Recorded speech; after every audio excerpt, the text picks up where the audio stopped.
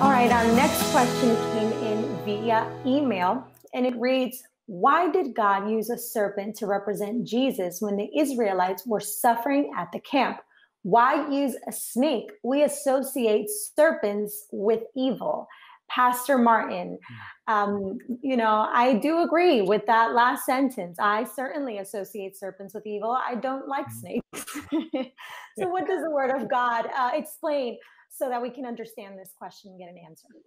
Very good. It is true. Like you said, we mm-hmm. do associate serpents with evil. Uh, mm-hmm. Uh, after all, even Revelation speaks of the serpent of old called the devil and Satan. You mm-hmm. see, so we do associate serpents with evil. And that's a mm-hmm. reference, of course, to the book of Genesis. Mm-hmm. Genesis there, chapter chapter three, where where a serpent tempted Eve. Mm-hmm. But but the question, the question that is asked here, I believe, takes us to first to a reference that Jesus made himself uh, in John chapter three. Jesus is having a conversation with a man named Nicodemus. Mm-hmm. And it, uh, most of us, if not all, Bible believing Christians, we know the the verse John three sixteen, right? Mm-hmm. Uh, but it's the verse just before that that makes an interesting comment. Uh, a mm-hmm. couple of verses before John three fourteen, and it says, "As Moses lifted up the serpent in the wilderness." Now remember, this is Jesus Himself speaking. He says, "Even so must the Son of Man be lifted up." That whosoever mm-hmm. believes in him shall not perish but have everlasting life. Jesus mm-hmm. refers to a story found in Numbers chapter 21 in the mm-hmm. Old Testament.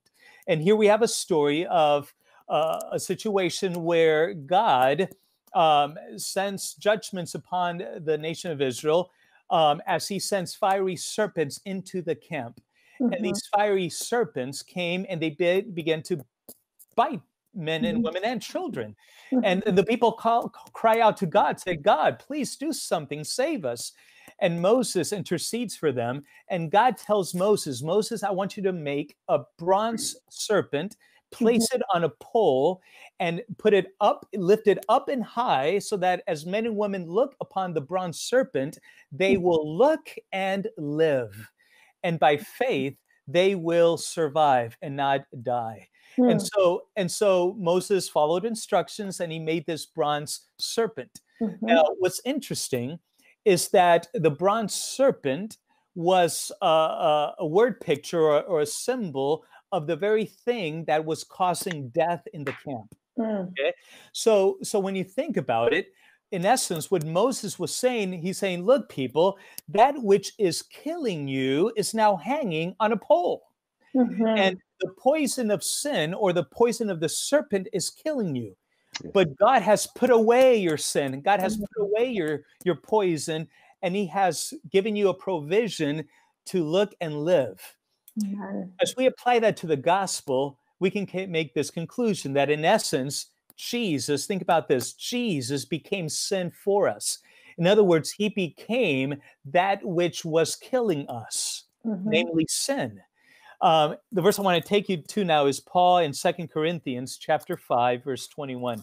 Second Corinthians 5:21, Paul said it very clearly, and I believe this this answers the question very directly.